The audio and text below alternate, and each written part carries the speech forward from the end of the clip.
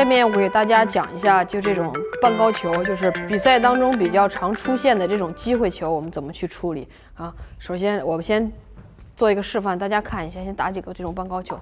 看，半高球的时候一定要注意节奏，人不要散，然后脚下找位置。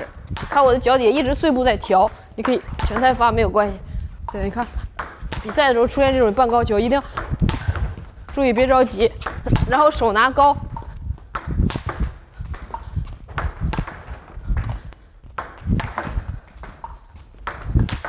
注注意脚下，最重要的还是脚下，还有一个节奏，不要着急。好多人呢，自己的位置和身体没调整好就去打。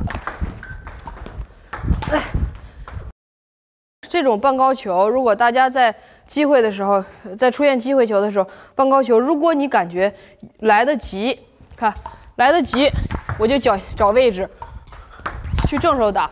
如果的时候感觉来不及，你可以放一个也可以。不过来不及了。前面的时候，你看前面都在打我正手位，突然间放我一反手来不及，你可以过渡。如果有机会的话，打反手这位高球也一样，要把手拿起来去打。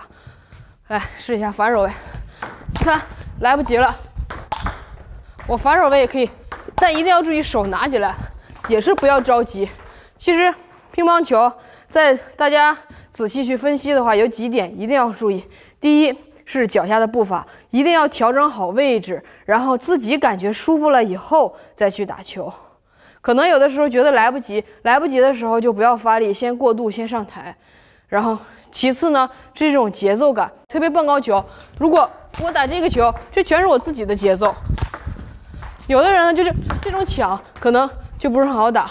包括到反手位也一样，反手位也要注意节奏，看，一定别着急。